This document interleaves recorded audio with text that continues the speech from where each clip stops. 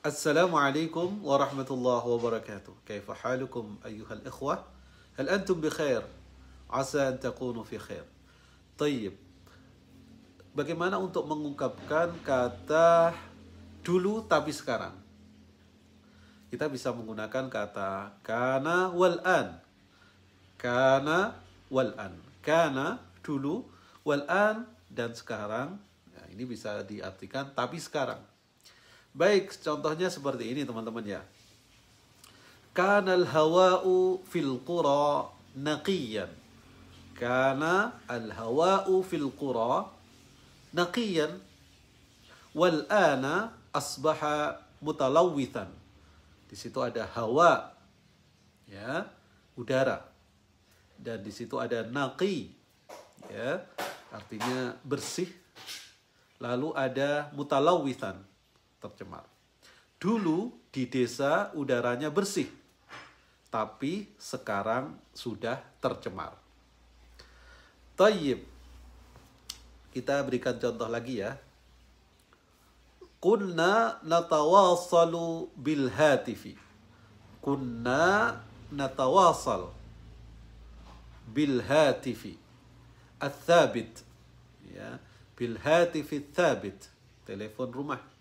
والآن بالهاتف الذكي والآن بالهاتف الذكي كنا نتواصل بالهاتف الثابت والآن بالهاتف الذكي Dulu kita komunikasi dengan telepon rumah, sekarang dengan smartphone.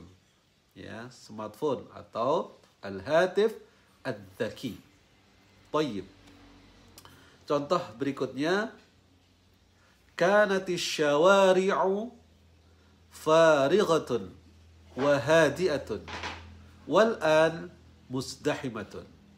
karena dari kata syari' syawari' farighatun lengang dan tenang atau farighah. Itu uh, sepi ya bisa tidak ramai gitu ya atau tidak macet wahadiah dan tenang. Wal an mustahimah dan sekarang macet.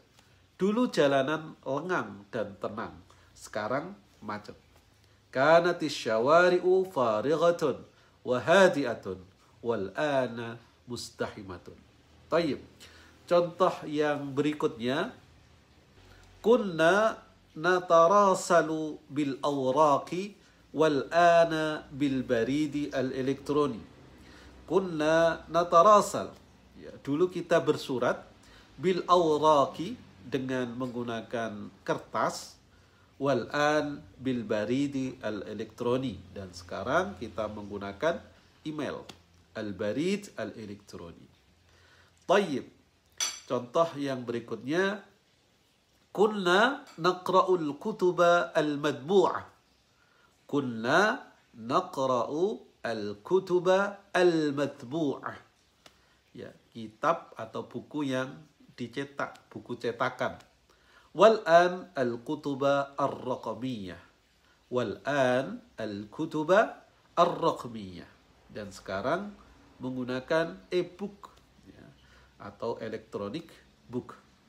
Kunna naqra'ul kutubal madbu'ah wal ana al kutubar raqmiyah.